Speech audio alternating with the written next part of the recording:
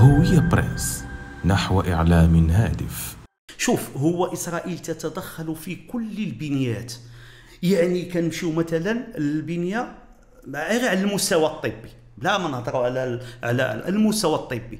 تجد أنهم هم الذين يحتكرون هذا الجانب ديال les prothèses في فرنسا. هادشي كل ما يتعلق بهذا الشيء ديال العلوم الجديدة. كيف يتم احتكارهم؟ بطبيعة الحال فيما تحدث عنه جاكوب. كذا ديال les sayanim.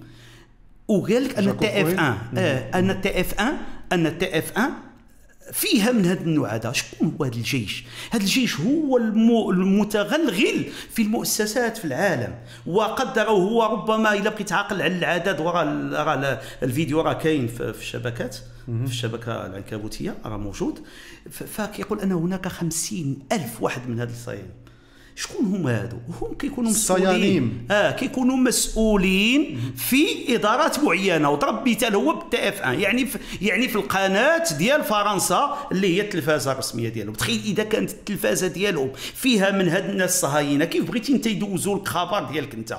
بطبيعة الحال يعني قيس يعني على هذا. الإعلام القطاع المالي القطاع نعم. الاجتماعي قيس السياسي قيس. على هذا قيس عليه جميع المستويات. المجالات الأخرى. الاعلاميه الجانب الطبي. ولهذا لما درنا التطبيع ما كاينش شي secteur ما كاينش شي قطاع. ما جاوش ال- ال- الصهاينة وما جاوش ال- الجيوش ديالهم الاقتصادية من أجل اختراقه. سير سول الأطباء سول الناس اللي في الاقتصاد سول في أنواع البضائع والتجارات. سير؟ هبط هبط للفلاحه معلوم؟ الفلاحة راه هما على على سي ويحمان والمرصد والإخوان ديالو في المرصد. شنو السبب اللي خدا شهر الحبس؟ قبل ما يكون لا تطبيع لا والو. سببه هو أن الشركات كانوا المتصهينين يمهدون لها في الاقتصاد المغربي. كنت كتجي للمعارض وكتعرض معروضاتها وتخترق.